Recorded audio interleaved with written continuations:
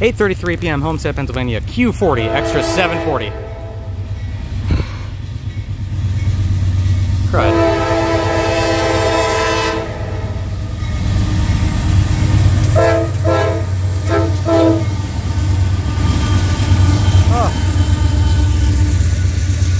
Yeah, and a 740, well, Q40. My first 7 Series Q. Oh. DKPX. Yeah, he wasn't kidding about those offers. Huh.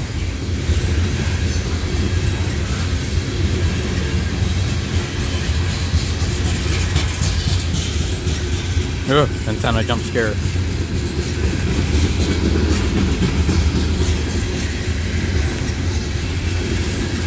Something is making an awkward squeaking sound. I think it's a track going up and down. Um, I ran a little. I was on the corner opposite side of the state. Uh oh. Uh oh. Track two is red. Track two is red. 260 is near. Dispatch on the pit.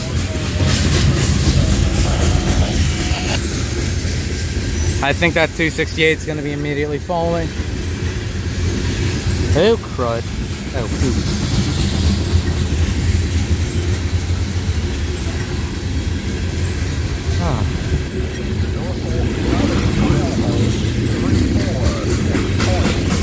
Three, four, six point two.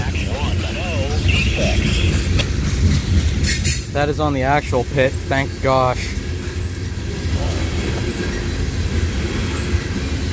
Something on the CSX pit. There is a eastbound on the CSX pit. Sorry, westbound. Norfolk Southern Track 1, no defects. Ah, something cleared home. Alright, time to go yell and get Julian's attention on this matter.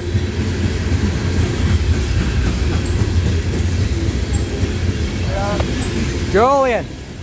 Julian! Two things. CSX coming north up on. Over there. Over there. Um, they just cleared the sector. Started the sector.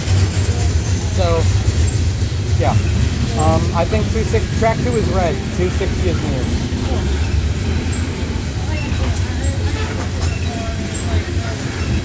That antenna saved us. I don't think either of us would have heard that. Alright. That was a rock. Prime example why you don't put those on tracks. That is Q40 in Homestead. That's that.